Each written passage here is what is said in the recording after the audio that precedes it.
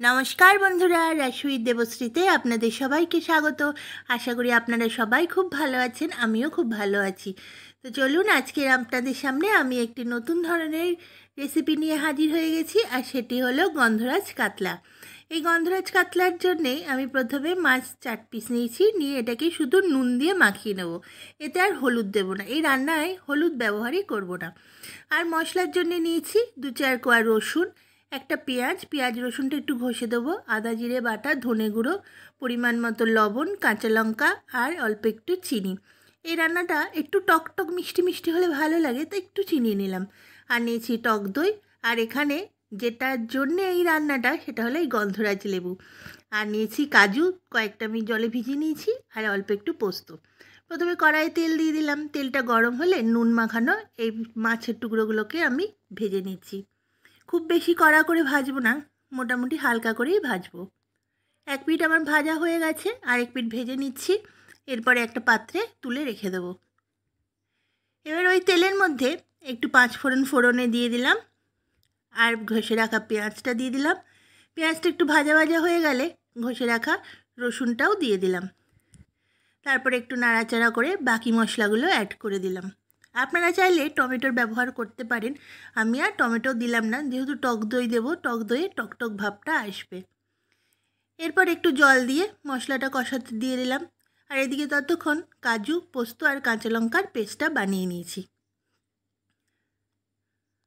দেখুন, মশলাটা আমার ভালোভাবে কষে গেছে, তেলও ছেড়ে গেছে। এরপরে আমি কাজু, পোস্ত বাটাটা আর কাঁচা লঙ্কা বাটাটা আমি দিয়ে দিলাম। দিয়ে একটু নাড়াচাড়া করে নিচ্ছি। আর এই মিক্সির বাটি ধোয়া একটু জলও অ্যাড করে দিলাম। দিয়ে একটু নাড়াচাড়া করে নেব।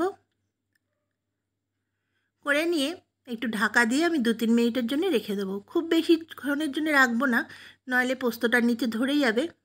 তাই জন্য দু তিন মিনিট পরেই ঢাকনাটা নামিয়ে দিলাম। দেখুন, একটু একটু উপরে উপরে তেল ছেড়ে এসছে। আমার কাঁচা পোস্তর গন্ধটাও চলে গেছে। এরপরে পরিমাণ মতো আমি জল অ্যাড করে দিলাম। জল দিয়ে যখন ঝোলটা ফুটে যাবে, তখন ভেজে রাখা মাছগুলোও অ্যাড করে দেবো। মাছগুলো দিয়ে গ্যাসটা সিমে করে রেখে আমি কিছুক্ষণের জন্য ঢাকা দিয়ে দেবো। আর দিয়ে দিলাম উপর থেকে আরও কয়েকটা চেরা কাঁচা লঙ্কা। মিনিট পাঁচ সাতেকের জন্য আমি রেখে দিয়েছিলাম। দেখুন, ঝোলটা আমার বেশ ঘন হয়ে গেছে। এটা খুব একটা পাতলা হয় না, তাই একটু ঘন ঘন রাখবেন, তাহলে খেতে খুব ভালো লাগবে। আর একদম নামাবার আগে লাস্টে দিয়ে দিলাম একটু টক দই। টক দই দিয়ে আরও দুই এক মিনিট ফুটিয়ে নিয়ে একটু গরম মশলা দিয়ে দিলাম। গরম মশলা দিয়ে একটু নাড়াচাড়া করে আমি গন্ধরাজ লেবুর অল্প একটু রস দিয়ে দেবো। এই সময় কিন্তু গ্যাস আর অন করব না, গ্যাসটা আমি অফ করে দেবো। নয়তো লেবুর রসে অনেক সময় ঝোলটা তেতো হয়ে যায়। তারপরে কেটে রাখা এই গোল গোল করে গন্ধরাজ লেবুটা দিয়ে ঢাকা দিয়ে মিনিট পাঁচেকের জন্য রেখে দেবো, যাতে গন্ধটা মাছের মধ্যে ঢুকে যায়। ব্যাস, আমার গন্ধরাজ কাতলা রেডি। তো কেমন লাগল বন্ধুরা আমার এই গন্ধরাজ কাতলা? যদি ভালো লেগে থাকে আমার চ্যানেলে যারা নতুন দর্শক, তারা অবশ্যই সাবস্ক্রাইব করে দেবেন। আর পুরনো বন্ধুরা, লাইক, শেয়ার, কমেন্ট করতে ভুলবেন না।